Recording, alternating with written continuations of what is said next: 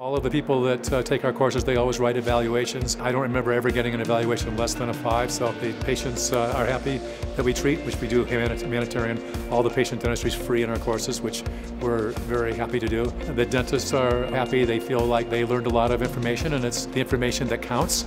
Uh, we're not necessarily going to spend a lot of time uh, talking to you about how to do an ASA 3 patient that's a, a diabetic that uh, insulin's not working for them, or somebody who's an asthmatic patient who goes to the ER once a month because their asthma medication's not working.